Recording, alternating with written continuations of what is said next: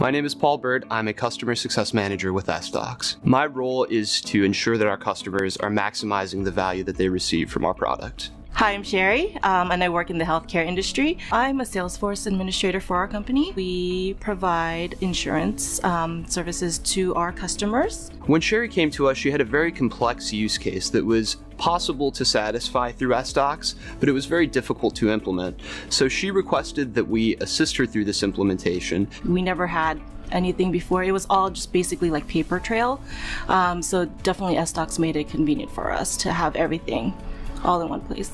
And not only did we help her implement the product in the current state, we took all of the feature requests and enhancements that were required to exactly meet the use case and bake those into our product in a way that everyone could benefit from. Our process is a little more complex and they, you know, stepped up to the plate and were able to fulfill our needs. SDocs was really a lifesaver for our company. We think that it's really cost effective, um, user friendly, and I hope it's uh, something that we can use from here on out.